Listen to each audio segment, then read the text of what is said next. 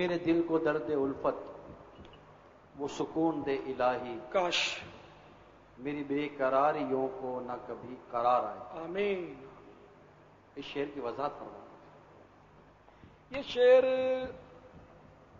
میرے آقا اعلی حضرت امام اہل سنت مولانا شاہ احمد رضا خان علیہ رحمت الرحمان کے بھائی جان حضرت سیدنا مولانا حسن رضا خان علیہ رحمت المنان کا ہے۔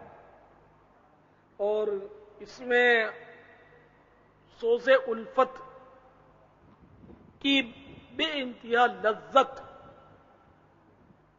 کا تذکرہ ہے اور اللہ تعالی سے یہ دعا کر رہے ہیں یا اللہ میرے دل کو درد الفت وہ سکون دے الہی۔ یعنی مجھے جو تیرے پیارے حبیب صلی اللہ تعالی علیہ وآلہ وسلم کی محبت کا تو نے درد عطا کیا ہے۔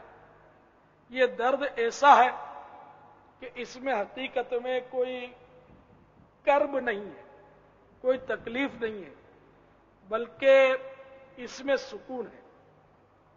تو یہ درد بڑھتا جائے تاکہ میرا ان مانو کر سکون بھی فضو تر ہوتا چلا جائے۔ جیسے میرے آقا حضرت رضی اللہ تعالی عنہ فرماتے ہیں، جان ہے عشق مصطفیٰ۔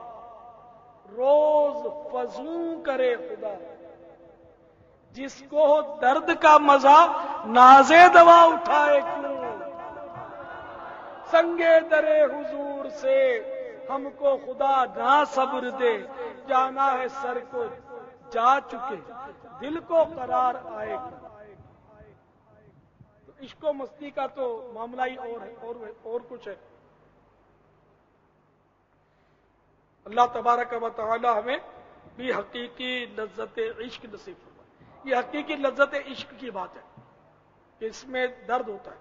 عشق رسول کے رونے میں پریشانی نہیں ہوتی، بلکہ ایک طرح کا سکون ملتا ہے، سرور ملتا ہے اور لطف آتا ہے۔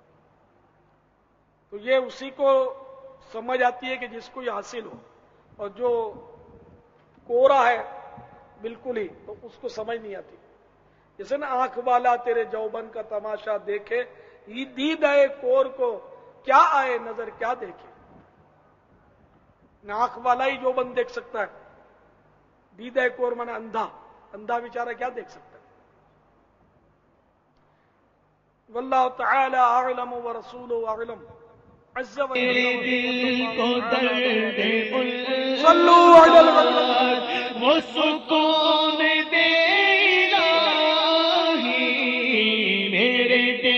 کو درد الفا میرے دل کو درد الفا وہ سکون دینا ہی میرے دل کو درد